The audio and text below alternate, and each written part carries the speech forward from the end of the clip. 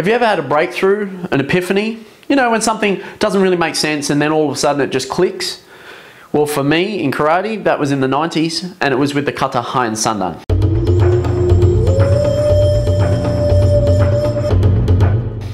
At the top of the kata, we have a nukite, and then we spin around into this posture here. And no matter who I asked, no one could really give me a, a really compelling, realistic application for that movement. So I started to look outside my art and I started to apply critical thinking to whatever I was taught, no matter how much I respected those that were teaching it to me.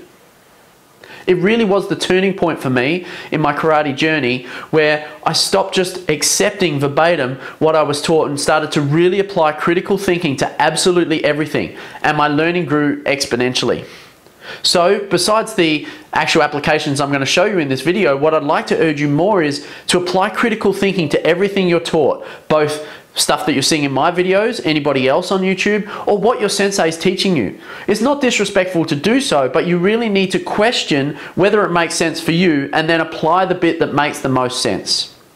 So let's step into the class now where we have a look at some of the applications that I use today and we even flow them into a little tegumi drill. Now I will say it's a bit of a long one so I want you to strap in. We have a look at a fair bit of detail and even some of the entry into those movements as well as the movements in the kata itself. Now in this video, you might spot some applications for some other kata from the Shotokan lineage. So if you do spot them, drop them in the comments, see if you can take a guess. Let's turn to the lesson at hand. So again, go here and then I seize. You're not going to do this. One, two. Alright, unless you've got a big cape on, it ain't going to work for you. We go here, one, up, lift. See the pain? By the finger. Then I come to here, crank. So you here you've done the radial here. Grab, lift on the radial bone with the, the finger up. That creates time to get this, okay? Turn this. Now, don't pull it down like that. I see this done all the time. Really dangerous. I'll explain why in a second. What I want to do is point behind, okay? So I'm literally getting the fingers, I'm pulling one up, and then I'm pointing this one forward. Ah, good. All right, we've seen this before. We come up one and point. One, and then the other one. Here, yeah? So go here, here's that. See that position? Lift. Then I get the other, so that's the first one. Then I get the other one, and I get this one. Third one, pull into here. Pull back, this out, and off we go. Okay? Yeah, you're seeing it, right? So he goes to here, he wants to crank that up my back. There we go. All I'm going to do to stop that from happening, I insert here. Now crank it. Not going to go. Okay? Just insert his hand here. When he tries to force that up, doesn't go. First one is I go here. He goes later, looks in the mirror. Okay? He grabs, he does his nice little little pointy thingy. Good. All right. Now he's going to want to shoot that up my back. I go, no, nah, that's not going to happen. Okay? All I'm going to do from here now, when I'm ready, is turn and spin. Okay? So he's trying to jack it up my back. I go, no, nah, not going to happen. I take his head off here. Okay? All the way around. Here. Take the head off. So he goes here, going to jack that up my back. Okay, not on your life, spin, take that head here. I then hook up, both if you can get them, one if you can't.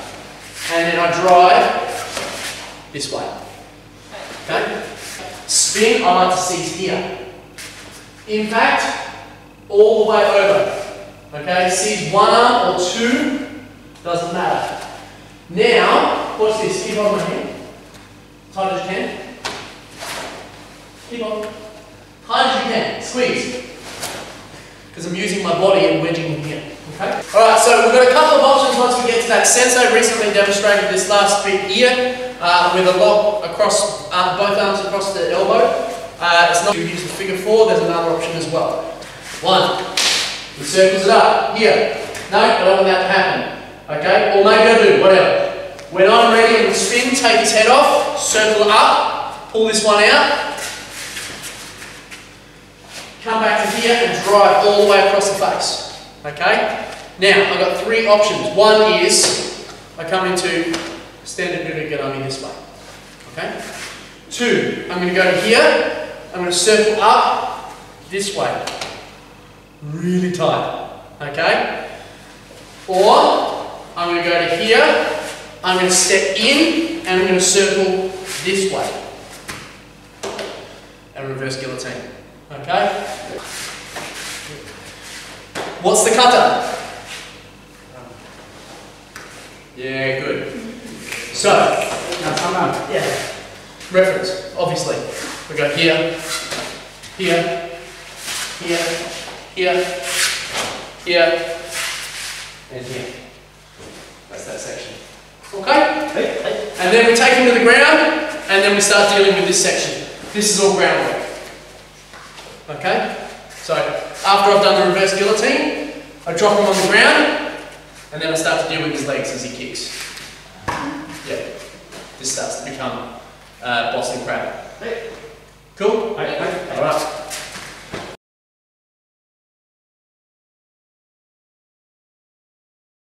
How does he escape this? That or spin and hit. This movement in the kata also tells us how to prevent his escape. Watch. Have him restart. Watch. Go like this. Go to here. Go to here. He's going to spin. No, he's not. You see? This position here. Watch one more time. Here. He goes to spin to escape. Not going to happen. Spin. No. That's it, I win. Okay? So that first movement also gives the answer to his whole combination as well. So thank you for watching and I just want to reiterate again, please apply critical thinking to everything you're taught. Look at it from a biomechanical perspective, from a history perspective, and also just what makes sense to you and put it together as it makes sense to you. Thanks again for watching. Don't forget, subscribe to our YouTube channel or like our Facebook page and I look forward to seeing you on the next video.